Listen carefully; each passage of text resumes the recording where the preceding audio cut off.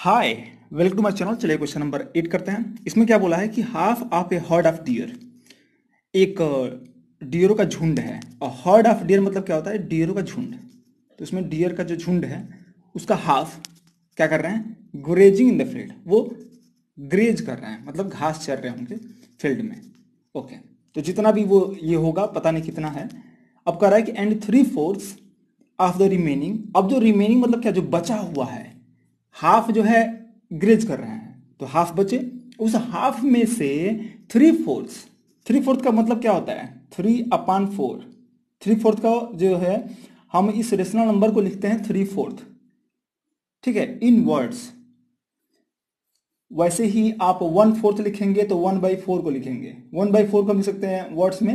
One fourth three fourth लिखेंगे तो three by four five seventh लिखेंगे तो फाइव बाई सेवन इस तरीके से मतलब हम वर्ड्स को लिखते हैं। वर्ड्स में लिखते हैं रेशनल नंबर्स को। ठीक है तो कह रहा है कि three fourth of the remaining मतलब जो रिमेनिंग बचे हुए हैं उसका three fourth are playing nearby वो कहीं पास में खेल रहे हैं। The rest nine are drinking water from the pond और फिर ये जब प्ले कर रहे हैं, उसमें से भी जो बचे जो हैं, उसके बाद जो बचे हैं, वो क्या कर रहे हैं? ड्रिंक कर रहे हैं water from the pond find the number of deer in the herd ठीक है? तो हमें ये जो लास्ट वाला रेस्ट दे दिया है, ठीक है? तो बहुत आसान है। कह रहा है कि find the number of deer in the field जो पूछा है वही हम मान लेंगे एक्स ठीक है? देखिए, समझिएगा कैसे मैं कर रहा हूँ। जैसे जैसे मैं इसको लिखूँगा, वैसे सॉल्व करूँगा। मतलब कि ऊपर से सॉल्व होगा सारा सारा, ठीक है? तो पहले मैं क्वेश्चन जो पूछा है, उसको मैं मान लेता हूँ। तो बोला कि find the number of deer in the field तो मैं बोलूँगा कि let let let the number of let the number of deer in the field is equal to x. ठीक है? मान लिया हमने कि x फ़ील्ड में है। अब बोल रहा है कि हाफ़ ऑफ़ हर्ड जो हाफ़ है वो क्या कर रहे हैं? ग्रेज कर रहे हैं। तो हम निकाल सकते हैं कि कितने ग्रेज कर रहे हैं। तो number of deers number of deer grazing in the field grazing grazing in the field.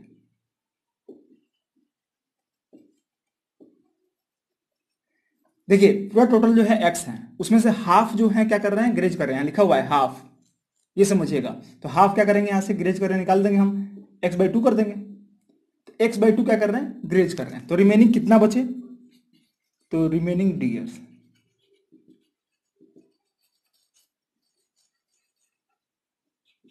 ये निकल जाएगा क्या? टोटल में से टोटल क्या था? एक्स है। एक्स में से माइनस कर देंगे जो ये हाफ़ ग्रेज कर रहे हैं। ठीक है? तो ये जगह रिमेनिंग तो ये आ जाएगा टू वन टू और यहाँ पे हो जाएगा एक्स बाई टू ही जाएगा। क्योंकि हाफ़ यदि ग्रेज कर रहे हैं तो हाफ़ ही तो बचे होंगे। ठीक है? अब अब इसमें से देखिए, जो रिमेनिंग है, उसका थ्री फोर्थ निकालेंगे। और ये क्या कर रहे हैं? प्ले कर रहे हैं। तो हम लिखेंगे कि number of deer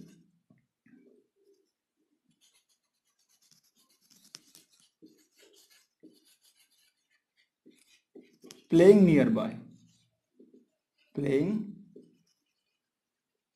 nearby अब हम निकालेंगे कितने जो हैं नियर बाय खेल रहे हैं। तो बोल रहा है कि रिमेनिंग का, क्या बोल रहा है?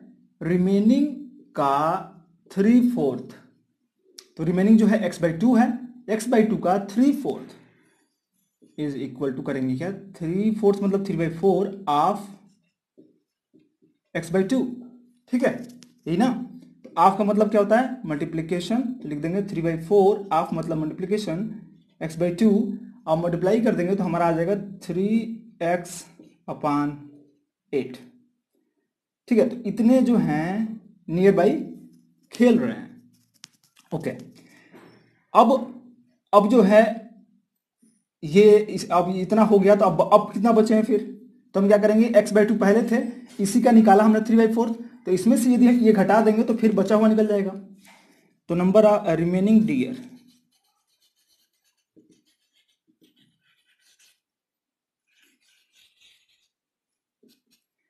देखिए, इतना में से ही हमने निकाला था थ्री फोर्थ तो अब जितना ये आया है, यदि इसको हम इसमें से घटा दें तो रिमेनिंग मिलेगा, है कि नहीं? एक्स बाई टू में से ही घटाना पड़ेगा थ्री एक्स अपन एट को तो पता चलेगा कि कितना रिमेनिंग है। क्यों इसी में से घटाना पड़ेगा? क्योंकि लास्ट में हम इसी से तो निकाल रहे हैं, देखिए three by fourth of x by two किए हैं। जब इसी का निकाल रहे हैं, इसलिए हमें इसी में से घटाना पड़ेगा रिमेनिंग निकालने के लिए। थोड़ा सोचिएगा इस पर क्यों ऐसा कर रहे हैं, है ना? सोचना बहुत ज़रूरी होता है। अब यहाँ पर हम ले लेंगे एट एल्सियम टू से डिवाइड होगा फोर होगा फोर एक्स हो जाएगा यहाँ पे माइनस एट से डिवाइड होगा थ्री एक्स ही रहेगा। सॉल्व करेंगे four x minus three x बताएँगे, क्या आएगा? एक्स आएगा एक्स बाई एट ये जो एक्स बाई एट आया, ये रिमेनिंग डी आर आया। तो यहाँ बोल रहा है कि द रेस्ट यही जो बचे हुए हैं, यही रेस्ट है। The rest are drinking water from the point तो according to question according to question लिख सकते हैं यहाँ direct according to question, we can have we have we have, what? We have x by 8 जो ये remaining जो बचा है लास्ट में रेस्ट वही बोल रहा है द रेस्ट नाइन यही रेस्ट नाइन है। x बाई एट क्या है? इक्वल टू नाइन होगा। कितना आसान है ना?